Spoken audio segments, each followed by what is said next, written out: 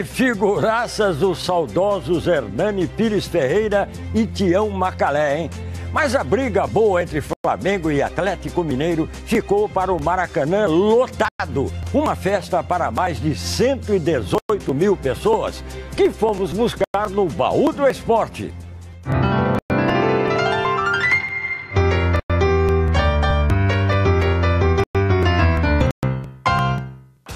Lado, o Flamengo de Zico, Bebeto e Renato Gaúcho. Do outro, o Atlético de Tele Santana, único invicto na competição. Os mineiros jogavam por dois empates. Mas o Flamengo não parecia se importar muito, não. Na contagem regressiva para o jogo, o clima na Gávea já era de carnaval e de otimismo. Novamente, o Flamengo apostava na força de sua nação. Com o apoio da galera, o Flamengo é favorito. Lógico, principalmente com essa galera que o Flamengo tem, nos ajudando, nos incentivando durante os 90 minutos. Não tem time que chegue no Maracanã e consiga suportar a pressão. É, sempre foi abusado esse Renato Gaúcho, né? E não é que ele estava coberto de razão. A torcida mineira bem que marcou presença. Mas naquela tarde de 29 de novembro de 1987, o Maracanã se transformou num caldeirão em vermelho e preto. Uma grande rivalidade entre Flamengo e Atlético nos últimos anos, decidindo torneios importantes, Campeonato Brasileiro, vaga em Libertadores da América, acabou transformando este clássico em um jogo de grande rivalidade. Tudo pronto, então vamos ao jogo. Dulcílio Vanderlei Mosquila autoriza. Começa o jogo no Maracanã. Visto do alto, um gigante apinhado de torcedores. No detalhe da extinta geral, um Maracanã de expressões tensas. Gente espremida, sentando e levantando a cada lance, numa coreografia perfeita. Todos à espera de um mesmo grito. Ele demorou. E mais veio. Rompe Jorginho com Zico, botou na frente. Bebeto tem a chance, pé direito, bateu. Gol! Bebeto 1 a 0 Flamengo. O Maracanã chega a tremer literalmente com 100 mil pessoas pulando. O Atlético bem que tentou pressionar no fim, deixando o técnico Carlinhos nervoso. É, mas o Flamengo conseguiu neste primeiro jogo o que queria. Final de jogo no Maracanã, um para o Flamengo, zero para o Atlético, gol de Bebeto.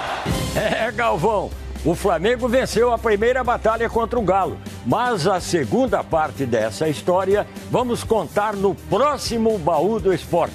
Combinado? Flamengo e Atlético Mineiro se encontraram na semifinal do Brasileiro de 87. E como o Flamengo tinha ganhado o primeiro jogo por 1 a 0, só precisava então de um empate para chegar à final. Essa vantagem em clubes grandes como Atlético, Flamengo, depende de um gol só em 90 minutos, daí não chega a ser uma grande vantagem, não.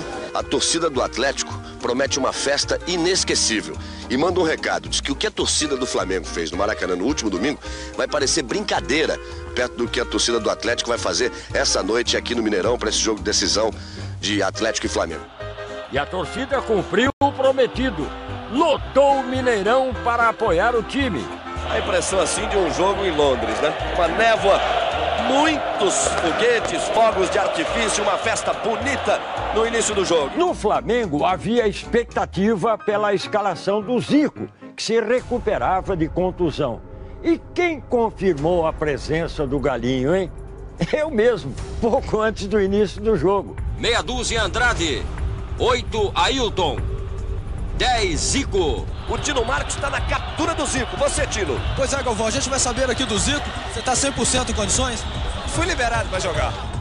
Com 22 minutos de jogo, o Zico mostrou por que a escalação dele era tão importante. Insiste no lance, capricha no cruzamento. O Zico meteu a cabeça.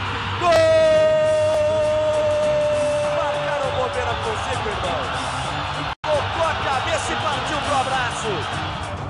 Flamengo ainda fez mais um no primeiro tempo com Bebeto. Olha, Bebeto, olha a chance, bateu, ela vai passando. E a vantagem, que já era boa, ficou imensa. Pois é, o jogo parecia resolvido, mas no segundo tempo a partida ganhou emoção.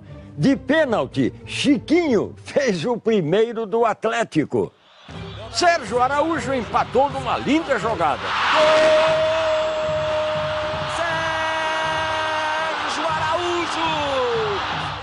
Depois desse gol, Zico foi substituído e saiu bravo com o time. O que, é que você acha que o Flamengo deve fazer, Zico, para segurar esse resultado e chegar às finais? E tá perdendo gol demais, agora tá sofrendo.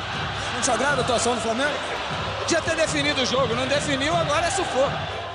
O sufoco só acabou aos 33 minutos, graças ao Renato Gaúcho. Renato vai partir com ela, tentar uma última força. Foi na vontade, Renato, botou na frente, ele e o goleiro. Fez a finta, ainda Renato vai bater. Gol! Renato para o Flamengo!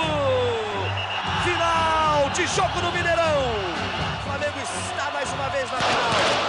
Um gol, acima de tudo, num momento muito importante da partida, né? Acredito que foi um dos três gols mais importantes e mais bonitos da minha carreira. Pois é, o Renato ainda tinha um sotaque gaúcho forte, né? Bom, nesse jogo o Flamengo se classificou para a final. E hoje, com a vantagem que conseguiu na primeira partida, a situação também está muito bem encaminhada.